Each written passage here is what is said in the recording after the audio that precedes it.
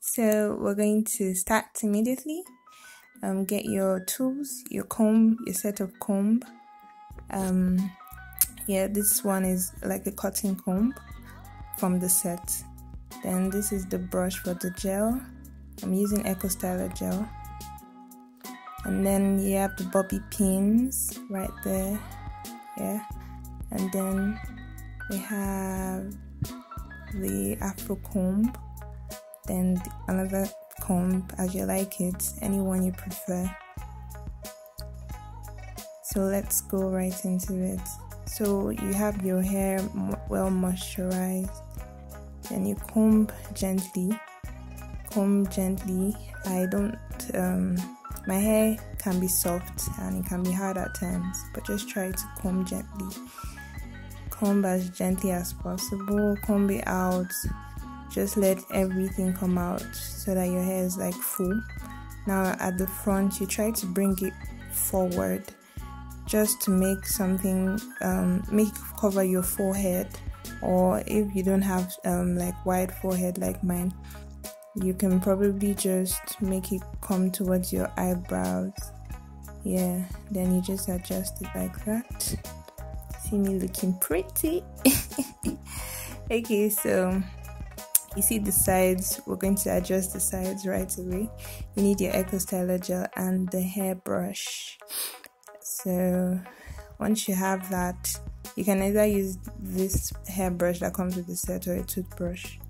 Then you take it and begin to apply gently.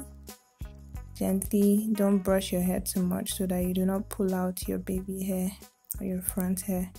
So you keep on brushing and brushing, and then you take your comb just to like straighten it out, straight to flatten it. Yes, just like that. You can take as much hair as you want, just as you like it. Now you take your bobby pin and then you like clip it, kind of like secure the hair downwards. Yes, so that it stays Yep.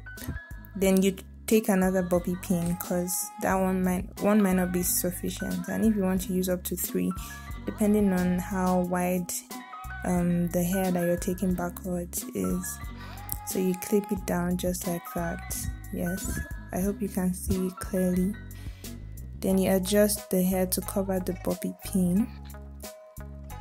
Yeah, like I said, you can take the um, gelled parts backwards more. It doesn't have to be this short. Now you have to repeat the same process to the other side. Yes just keep on applying as far back as you want it to go. And then you put your bobby pins to secure the um, hair. Sorry. You put your bobby pins to secure the hair.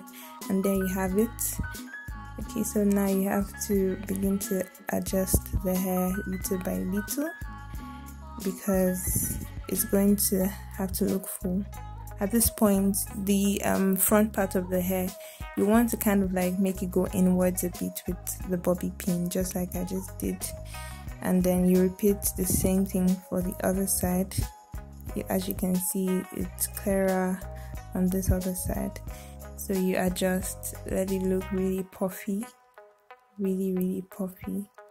Yep that's it. So you begin to um, adjust the all um, the hair every other side of the hair.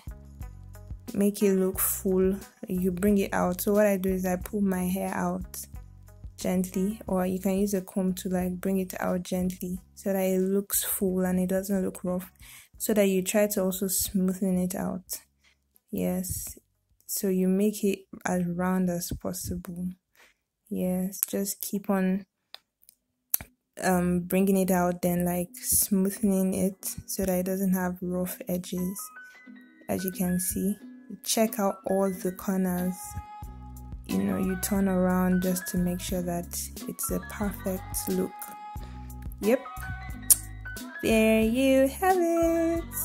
Looking nice. Very simple and short. It's like two seconds. You have your hair done.